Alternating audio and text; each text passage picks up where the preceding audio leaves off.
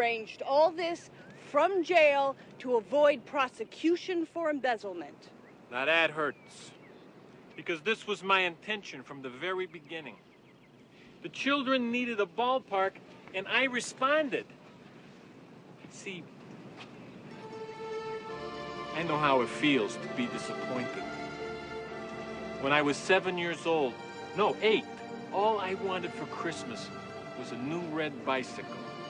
My favorite uncle, Uncle Alfresco, swore to me that he would buy me that bicycle.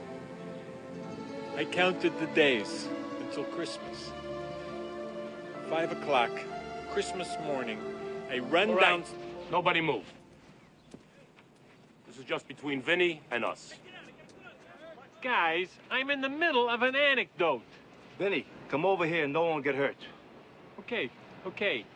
Come on, kids, uh, move back out of the way, and everybody just get out of the way. Take position!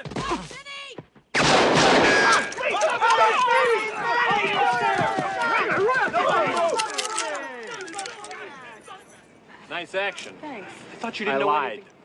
Now, where was I? Oh, yes.